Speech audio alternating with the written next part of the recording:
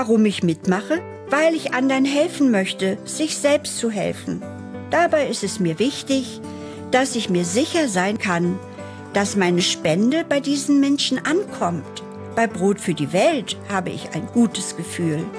Und wenn jeder ein wenig gibt, kann Großes bewegt werden. Es gibt viele gute Gründe, Fördermitglied zu werden. Verändern Sie die Welt.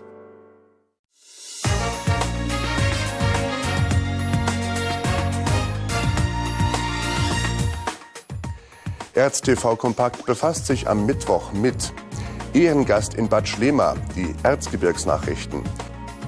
Spinnen in Stolberg, ein Tierbericht. Und Cartoonist in Oelsnitz, die Veranstaltungstipps.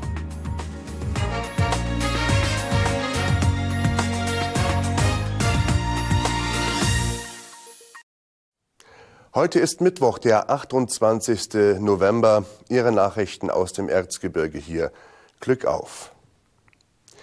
Antje Hermenau wird die Referentin beim 32. Comenius Forum Erzgebirge sein. Inhalt der Veranstaltung am 4. Dezember wird das Thema Herausforderungen für die Demokratie in Deutschland. Antje Hermenau lädt ein, mit ihr gemeinsam über Wege in die Zukunft zu diskutieren. Die ehemalige Politikerin ist heute als Publizistin und Politikberaterin tätig und veröffentlichte im Herbst 2015 die Streitschrift Die Zukunft wird anders zur sozialen und wirtschaftlichen Entwicklung. So stehen im Mittelpunkt des Comeniumsforum Erzgebirge vor allem die Fragen, ob die zunehmende Polarisierung an der Digitalisierung liegt oder ob der Streit über Alternativen in der Politik verlernt wurde. Antje Hermenau war bis zu ihrem Rückzug aus der Politik zunächst Mitglied des Sächsischen Landtages und bis 2004 Mitglied des Deutschen Bundestages. Zuletzt war sie bis 2014 als Fraktionschefin der Bündnisgrünen Landtagsfraktion tätig. Der Eintritt zur Veranstaltung, die 19 Uhr im GDZ Annaberg beginnt, ist frei. Wunderbar. Es hat einen Stammgast getroffen. Im Gesundheitsbad Aktinon in Bad Schlema wurde Brunhilde Salomon am Dienstag als sieben Millionster Gast begrüßt. Mit ihrem Mann Gerhard besucht die Werdauerin seit 20 Jahren regelmäßig die Einrichtung.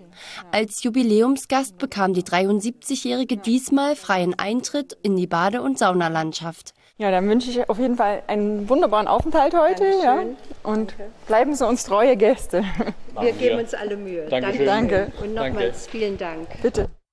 Außerdem gab es von der Geschäftsführerin der Kurgesellschaft Katrin Bösecke-Spabens einen Gutschein und eine Wellnessanwendung. Das Gesundheitsbad Aktinon wurde am 25. Oktober 1998 eröffnet. Da nach rund 20 Jahren der sieben Millionste Gast empfangen werden konnte, lässt sich errechnen, dass im Schnitt jährlich rund 350.000 Personen die Actinon-Angebote nutzen. Das Schaubergwerk Herkules Frisch Glück darf sich weiter familienfreundliche Freizeiteinrichtung nennen.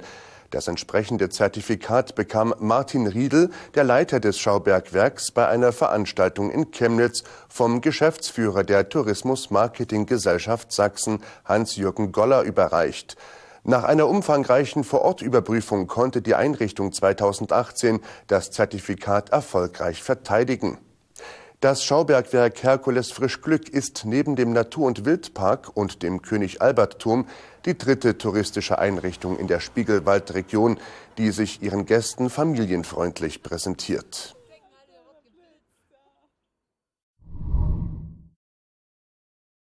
»2018 feiern in Chemnitz die Tage der erzgebirgischen Folklore ihr 40-jähriges Bestehen. Jahr für Jahr verwandelt sich die Stadthalle Chemnitz am ersten Adventswochenende in ein großes Weihnachtsland. Rund 60 erzgebirgische Aussteller präsentieren in den Foyers traditionelles und modernes Kunsthandwerk und lassen sich in zahlreichen Vorführungen über die Schulter schauen. Ein vielseitiges kulturelles Rahmenprogramm begleitet die Handwerksschau. Ein besonderer Höhepunkt wird die große Jubiläumsgala am 1. Dezember mit einem festlichen erzgebirgischen Adventsprogramm.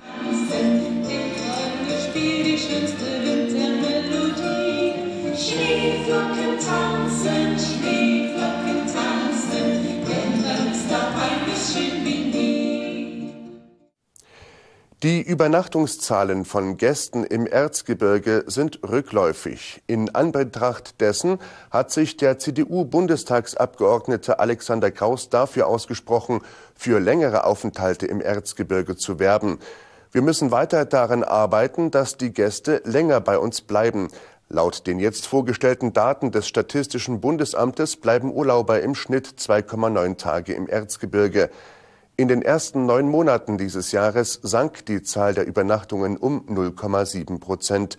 Sachsenweit stieg die Zahl der Übernachtungen um 3,3 Prozent. Der Bandunion-Verein Karlsfeld geht auf große Reise und folgt damit einer Einladung aus Brasilien. Eine Gruppe von 24 Teilnehmern wird beim Festival Fiesta Pomerana vom 16. bis 22. Januar drei Auftritte haben und am 19. Januar in Pomerode am Umzug teilnehmen. Die Brasilianer haben den großen Wunsch, dass deutsche und speziell erzgebirgische Volksmusik gespielt wird. Grundschüler in Krottendorf und Scheibenberg bekamen am Dienstag Besuch von NVAM und Mitgas. Wie rund 2000 andere Schülerinnen und Schüler aus 115 Klassen und 55 Schulen in Sachsen hatten sie bei der Aktion Natur zum Anfassen des Unternehmens spannende Projekttage auf Naturhöfen verbracht. Ihre Erlebnisse zum Schwerpunkt Eine Biene klärt auf, wie kommt der Apfel an den Baum, verarbeiteten die Kinder in Bildern und Collagen und reichten sie bei Mitgas und Envia M ein. Eine Jury wählte die zwölf eindrucksvollsten Werke aus über 600 Zusendungen aus und gestaltete den Natur zum Anfassen Kalender 2019. Die Klassen der Monatskinder, derer Werke es in den Kalender geschafft haben, erhielten nun die druckfrischen Kalender, Äpfel und die Sieger ein Naturbuch und einen Natur zum Anfassen Tonbeutel. Die Bilder von Anton Hartmann aus der Christian-Lehmann-Grundschule Scheibenberg und Gretchen Demmler aus der Grundschule Krottendorf haben es auf den Kalender geschafft. Die Welt ist aus den Fugen, das spricht sich so leicht, und doch hängt ein großes Quantum Wahrheit da drin. Dass es bei Shakespeares Hamlet im Original heißt, die Zeit ist aus den Fugen, geschenkt, der meint es ähnlich. Und so hat ein Großteil der Sachsen gestern auch die Nachricht aufgenommen, dass Kopfnoten in Schulzeugnissen, also Betragen, Fleiß, Ordnung oder Mitarbeit, nicht mit der Verfassung übereinzubringen sind. Da staunt der Mensch. Kultusminister Christian Piwatz wundert sich. Aber Schüler und Elternvertreter jubeln. Letztere meinen, Kopfnoten könnten einer Vorverurteilung dienen. Außerdem seien sie höchst subjektiv und widerspiegeln den Schüler nur verzerrt. IHK und Ministerium sehen das anders. Sie sprechen vom Werteverfall, der mit den Kopfnoten zumindest etwas eingedämmt werden kann. Außerdem sei die Persönlichkeit heute viel wichtiger als Zensuren auf dem Papier. Ein Neuntklässler hatte vor Gericht geklagt, ein Zeugnis ohne Kopfnoten zu erhalten. Dem hatte das Verwaltungsgericht Dresden zugestimmt. Auch beim Anblick so manchen Getiers, damit sind wir beim nächsten Beitrag, kommt die Persönlichkeit des Einzelnen so richtig zum Tragen. Wer beim Anblick einer Spinne in den eigenen vier Wänden schon gleich mal an den Umzug denkt oder auch bei harmlosen Insekten schon Ekelblasen entwickelt, der hätte durchaus einmal die Welt der Riesenspinnen in Stolberg besuchen sollen. Da waren sie hinter Glas und vielleicht hätte es auch mal die Erkenntnis gegeben, die sind doch eigentlich ganz niedlich. Gerald Nützel zeigt's uns nochmal. Für Aufregung und Nervenkitzel sorgte kürzlich eine faszinierende Ausstellung im Begegnungszentrum Dürer in Stolberg. Unter dem Titel Welt der Riesenspinnen luden zwei junge Männer aus Helmstedt in Niedersachsen ein, in die Welt der Vogelspinnen einzutauchen. Vogelspinnen zu züchten und zu halten hat für deren Besitzer einen besonderen Reiz. Eigentlich die, die Vielfalt, ne? die Größenart oder zum Beispiel das Verhalten, aggressiv oder nicht so aggressiv oder die Farben von den Vogelspinnen. Das ist eigentlich das Interessante an den Spinnen. In der Ausstellung standen rund 30 Vogelspinnenarten mit den dazugehörigen Informationen. So konnten die Besucher mehr erfahren über das Verhalten der Tiere, ihre Lebensgewohnheiten und aus welchen Ländern die Tiere kommen.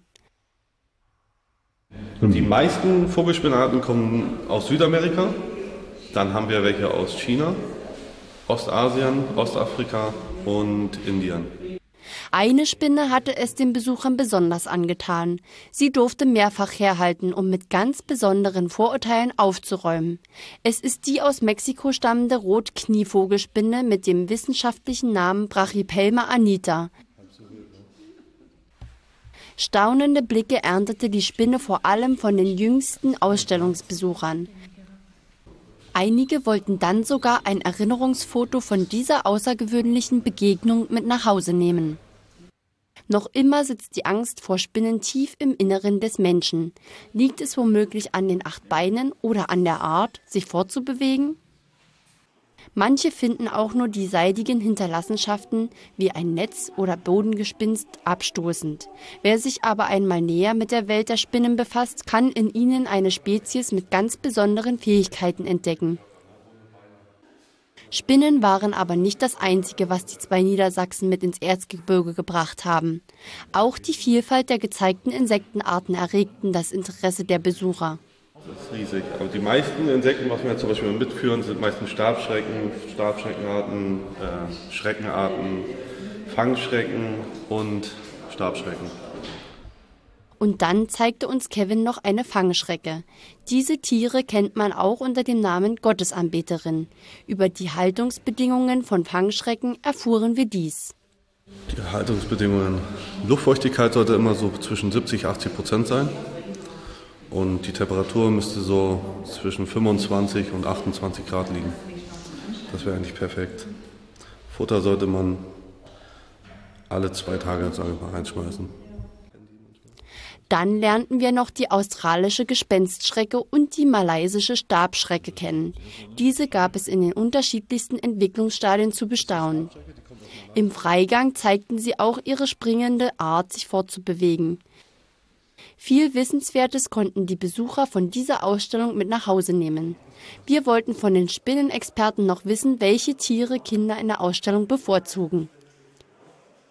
Kinder mögen eigentlich die Insekten am liebsten, Spinnen eher nicht, sind eher schreckhaft, aber meistens trauen sich auch die eher kleineren Mädchen. Ne? Also die fangen dann immer an mit den Spinnen und dann wollen die Jungs dann immer natürlich dann auch. Ne? Dann wollen sie duellieren, wer mehr Mut hat, aber die Insekten ist immer hauptsächlich das Erste, was die Kinder mal anfassen.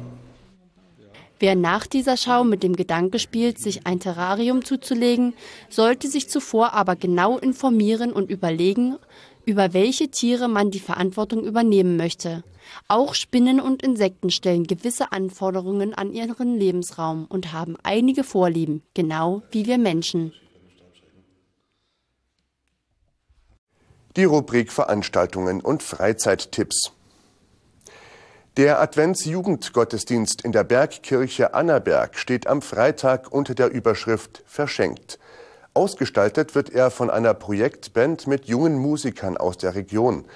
Jugendmitarbeiter Matthias Richter übernimmt die Verkündigung zum Thema Verschenkt, um auf die Advents- und Weihnachtszeit einzustimmen, in der man anderen eine Freude machen kann, indem man etwas an andere verschenkt.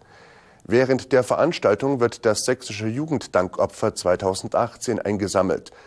Der Projektinitiator für den diesjährigen Sonderzweck, Rico Bernecker, wird das Projekt Wohnheim für Grundschulkinder in Uganda im Gottesdienst vorstellen. Beginn des Adventsjugendgottesdienstes der evangelischen Jugend im Kirchenbezirk Annaberg ist 19.30 Uhr. Beck gehört zu den bekanntesten Karikaturisten in Deutschland. Regelmäßig erscheinen Cartoons des Leipzigers in Magazinen und Zeitschriften. Noch bis zum 9. Dezember präsentiert das Heinrich-Hartmann-Haus in Oelsnitz-Erzgebirge mehr als 100 seiner Cartoons aus der letzten Zeit.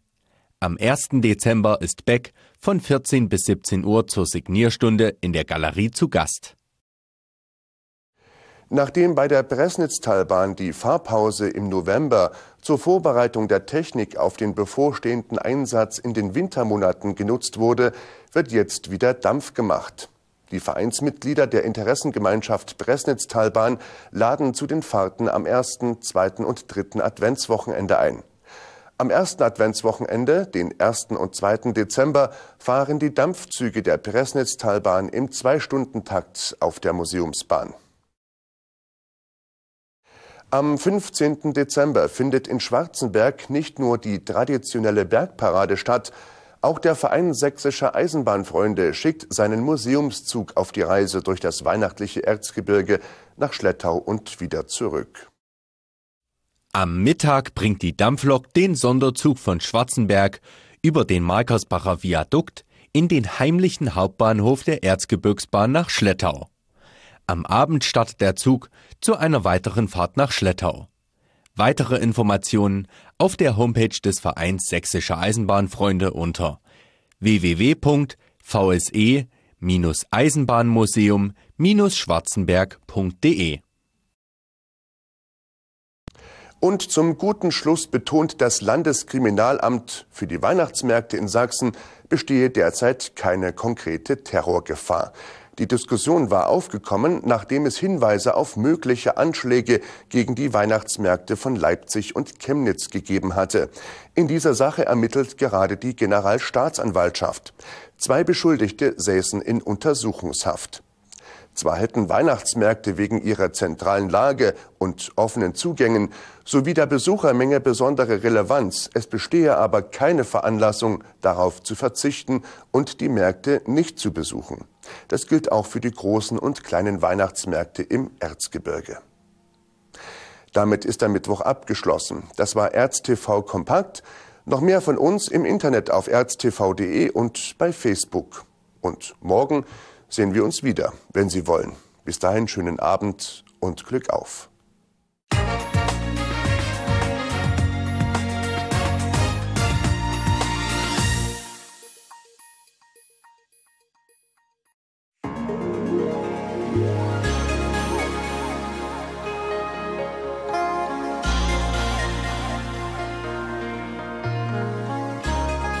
Die Temperaturen klettern ab Donnerstag stetig weiter über den Gefrierpunkt. In Annaberg-Buchholz erwarten wir zwei, in Aue und Schwarzenberg schon 5 Grad plus. Dazu ist es sonnig, nur ein paar harmlose Wolken können mal vorüberziehen. Anders am Freitag, da kann es etwas regnen und es bleibt bedeckt im Sendegebiet. Am Wochenende mild, erst wolkig, dann regnerisch.